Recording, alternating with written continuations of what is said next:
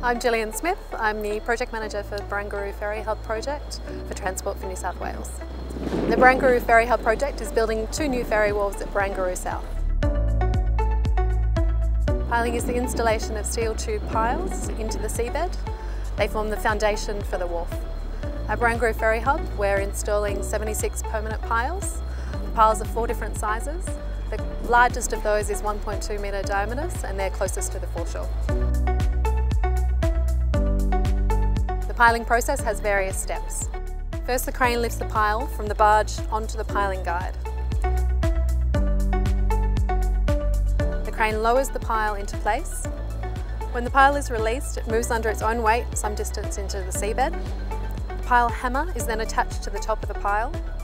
The pile is then hammered into the seabed down to the required rock level. We come back sometime later and cut off the top of the pile down to the final level.